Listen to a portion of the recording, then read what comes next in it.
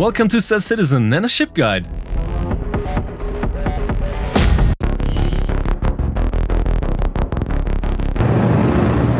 With this light fighter, we take a look at an exotic in this category. And as in every ship guide, we start with the exterior. The interior is omitted as this alien ship has only a cockpit. We'll take a look at the usage options, which is limited to combat in this case. Before we get to the flight characteristics and a conclusion.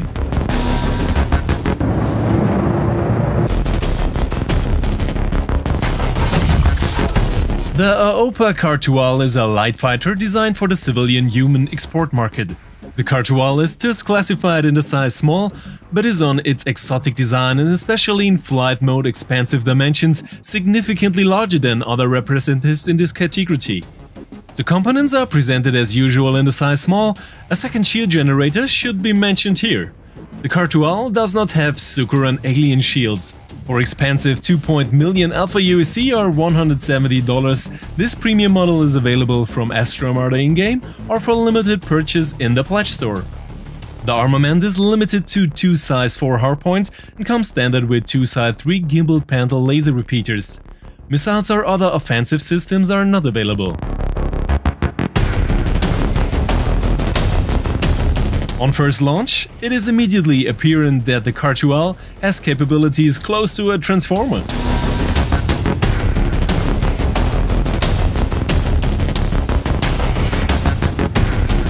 The combat speed of 224 meter per second is rather average in this category, but the maximum speed of 1323 meter per second is very strong and represents the maximum in the range of dedicated light fighters. With 880 DPS in standard loadout, the Khartu-Al is disappointing. In the recommended loadout, however, we achieve 1850 DPS, which is sufficient for a light fighter. In the alternative ballistic cannon loadout, around 1300 DPS is achieved with a very high alpha damage of almost 1500. The all-around visibility in the cockpit seems to be very good at first due to the construction, but in the interior view we have centrally located struts, which clearly restricts the view to the front. We'll take another look at this in detail in the fight. One of the most noticeable areas on the ship are the four massive and more importantly fully rotatable thrust engines. These offer enormous possibilities in terms of fast thrust load changes and represent a novelty. The second flight mode, which is also the landing mode, is not recommended for combat or controlled operations. Due to the positioning of the weapons upwards, the Khartu-Al is also not defensible.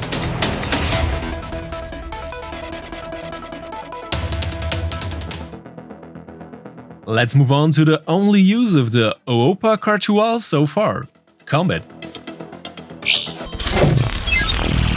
This flying starfish has to do without an arsenal of missiles as well as an AMP or other features and is limited to the two size 4 weapon hardpoints.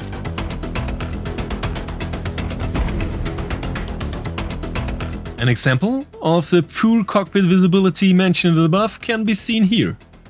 The massive struts therefore only offers a small visible area to the front and are very limiting. The view to the side, on the other hand, is all better.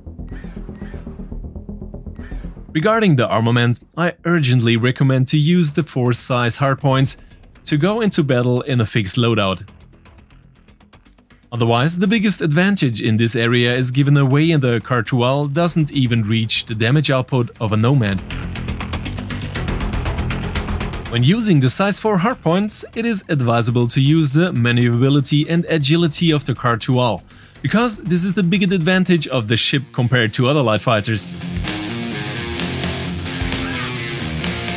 The massive agile thrusters allow very fast direction changes as well as a strong thrust duration comparable to the Talon before the thrusters overheat. In addition, the thrust is enormous, making distance changes to the target a very simple task.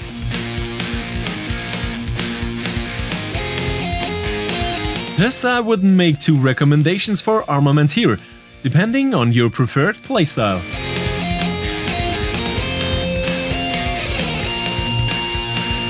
First and foremost, a setup of attrition laser repeaters, which require a very close distance for optimal damage output.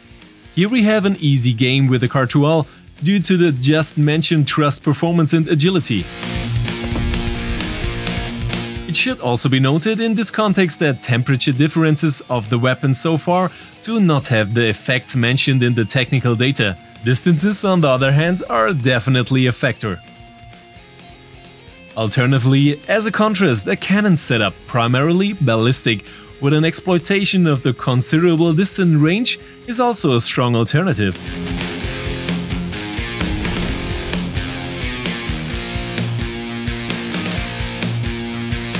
This makes it possible to inflict targeted damage at long range while avoiding enemy fire. The biggest disadvantage here, however, is that we are taken very strongly under missile and torpedo fire, which should be considered. Therefore, the loadout should be adjusted and modified depending on the purpose of the mission and the expected enemies. As usual, you can find the recommended loadouts in the video description.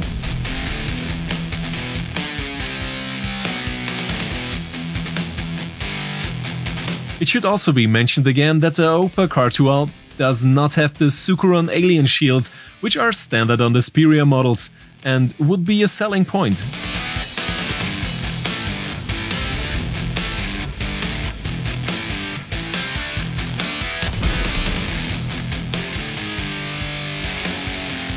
Furthermore, the Starfish optics have significant weaknesses, especially with single hits that penetrate the shields. Here we lose individual components very quickly.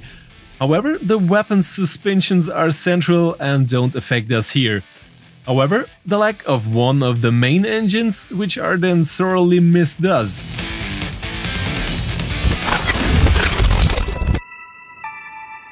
Let's move on to the atmospheric flight characteristics and the conclusion.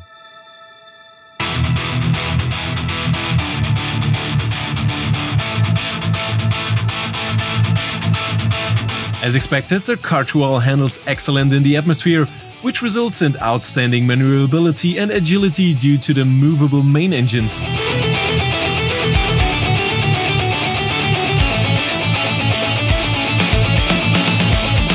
Such a flight feeling in combination with the enormous speed offers some advantages, especially in planetary flights. This is where the Khartu-Al is strongest and, above all, fastest.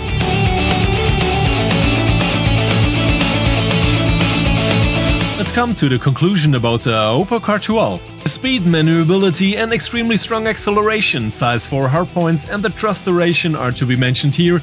The special sound and the second shields are nice but subordinate. However, the negative points are not insignificant. No missiles, fragile attachment, outlandish dimensions, comparatively little damage potential, and limited cockpit visibility are strong counter-arguments. And with the excessive price for what is offered, the fun finally stops. However, the look is unique and I expect this ship to undergo even greater changes. So I can only sum up the Khartu-Al in one sentence. The price is way too high for a ship that seems so weak.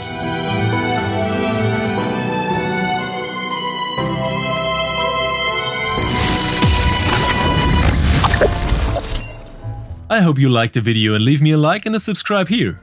The Aopoa Khartu-Al, or however you want to pronounce it properly, is one of the most interesting ships, as the visuals as well as the sound and quantum flight are unique and not found anywhere else. However, not only is the in-game price definitely too high for what is offered, for this there are clearly more interesting light fighters. But we will clearly differentiate that with the upcoming comparison test, which ship deserves a recommendation here for which purpose.